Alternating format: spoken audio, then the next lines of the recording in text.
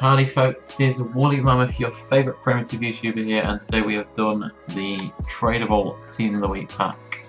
We did the untradable one earlier. We got Lopes in that, uh, um, we got Anthony Lopes in that there. We have used him in this one because we need two informs for it and he's got a good rating. And he's untradable anyway and I'm not going to use him, so he's going to go in the team. That makes it easy to get the HP rating. Quite a lot of these are already in my club untradable, like Sansone here. Um, he was already in my club. The only player that I actually brought was Bellarabi for 2.5k. So very cheap for me for this one. I'm not going to do another one.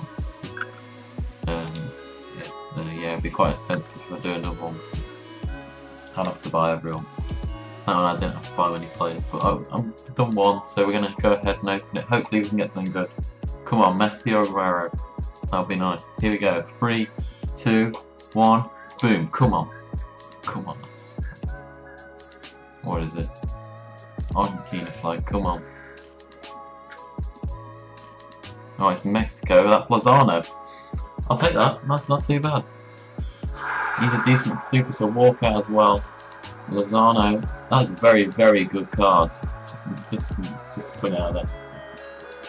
95 base, 87 dribbling, 84 shooting, 80. Jesus, that's a good card. I'm not sure it was going for much, but I, I, can definitely keep him around as a super sub. I think that's the best idea.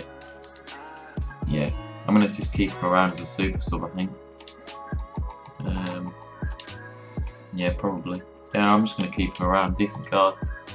So there we go. That is um, my tradable team of the week pack. Thanks for watching, guys. Hope you enjoyed. And don't forget to um, turn on notifications for videos and also follow me on social media. The links will be in the description down below. And see you later folks. Bye.